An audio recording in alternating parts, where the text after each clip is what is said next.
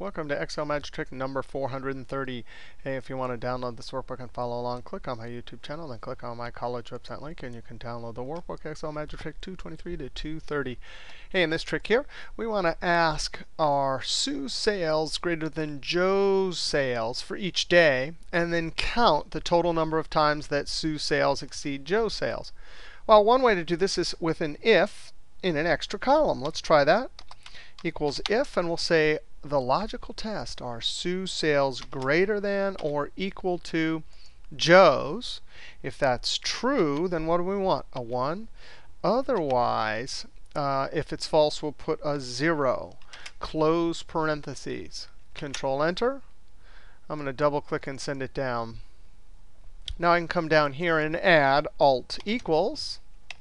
Wow, 9 times. So 9 times uh, Sue had sales that exceeded or greater than or equal to uh, Joe's. Now here's another bizarre function from the engineering uh, group equals GE step. It does the same thing that we just did. You give it a number. Here's the number, comma, and the step that they call step, that's the hurdle. That's the hurdle. So really, it's just a clever way of delivering a 1 or a 0. Uh, if that relative cell reference is greater than that hurdle, it'll deliver a 1, otherwise a 0. And it's greater than or equal to. And then we double click. Uh, actually, we can't double click and send it down because we have something at the bottom and it will replace it. So there you go.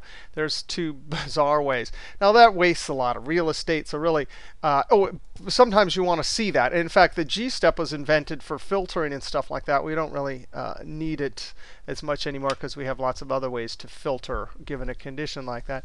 But uh, if you wanted just a, a cell to add it up, then we'd go like this, equals SUMPRODUCT.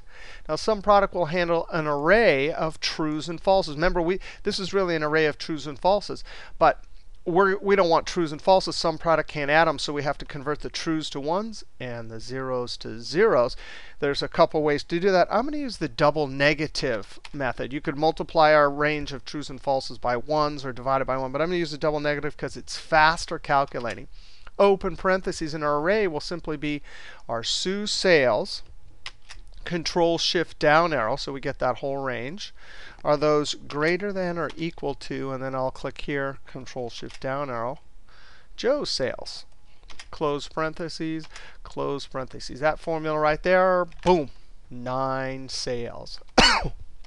All right, uh, if GESTEP and uh, SUMPRODUCT, uh, we'll see you next trick.